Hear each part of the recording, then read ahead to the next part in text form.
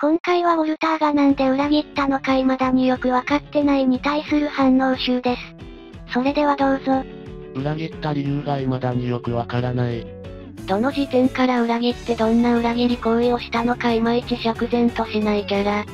途中からの思いつきだったのかなって思う。本当は出すの忘れてただけなのを後付けで裏切ってたことにしたんだと思ってる。平子自身が後付けだと言ってたから多少整合性がないのはまあ。なんかだいぶ昔から裏切る計画立ててたとか言われてた気がする。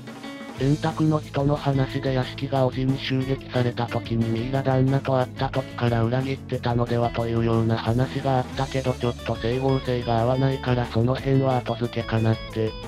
初期構想にはいなかったからしょうがない。全盛期のコンディションでもう一度知る限り最強の相手と戦って己の力を試して生きてるうちに白黒はっきりさせて関係ねえ戦いてアーカードに勝ちたいって思ってたところに倒しに行った少佐に誘われて利害が一致することになっちゃったんだろう。ブリティッシュは老いを楽しむんじゃなかったのか？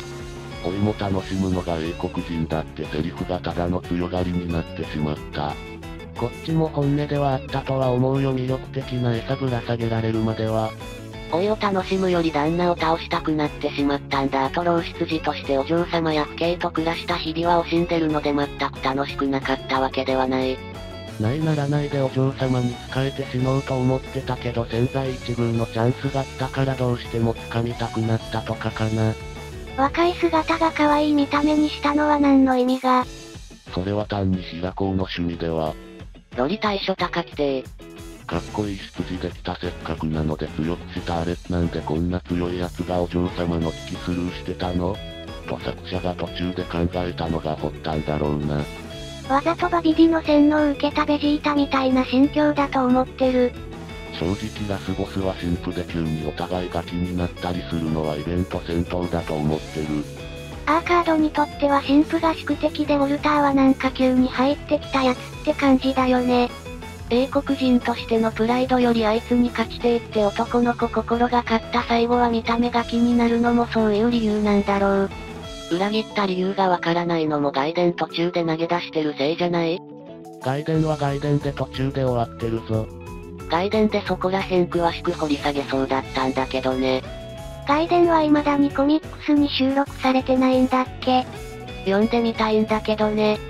ウォルターもバカな男の子だったから。旦那とウォルター戦わせてってなる気持ちは大いにわかる。敵対後のウォルターのインテグラとセラスに対する態度が好き戦えて欲には負けたけどやっぱりウォルターだった。糸で壁作れたり全盛期が強すぎる。本当にどうやって倒したんだよ。外伝は多分本編と同時に出自と体を対峙させるシーンで満足しちゃった感。裏切りに関しては辻褄合わないところ多いけど最後の死に方とかは好きおさらばですお嬢様。もともと戦闘狂を置いていくのがジョンブルうんぬん言いつつ本心ではそれが嫌だったというやつ。ベジータと同じで穏やかに老成していく自分が嫌いじゃないことに気づいてしまった系。置いて弱くなっていくのも好きだったけどそれはそれとして全盛期の俺でアーカードぶっ殺していってだけな気がする。無用物になるのが怖いから老いが怖いから忘れ去られるのが怖いからとアーカードが言っていたように置いていく自分が好きでもあったが心の信号では恐怖を感じていたんだろう。老齢してるはずの精神も若い肉体へ収まるときその若さに引きずられるんじゃないかなと、キャラがというよりそれを書く作者の認識の方が、逆にばあちゃんが若返る場合はしっかり中身がババアのままのパターンが多い気がする。多分薩摩的な理由だったんだと思ってるどっちが強いか比べたい的な。外伝の若ウォルター時代は出自やってたとは思えないほどやんちゃだったしね。糸使いは大体強キャラよね。最後のセリフの勝ちたかったなあいつにって言葉に全てが詰まってると思う。おさらばです。今回の反応集は以上です。ご視聴ありがとうございました。